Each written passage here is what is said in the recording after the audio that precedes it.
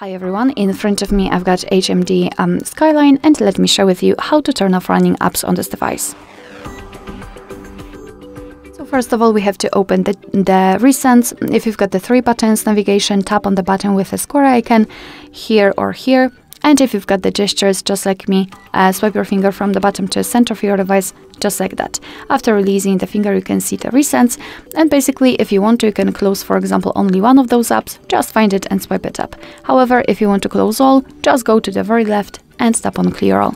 And we just got back to the homepage, which means that we just successfully closed all background apps. Alright, so thank you so much for watching. I hope that this video was helpful and if it was, please hit the subscribe button and leave the thumbs up.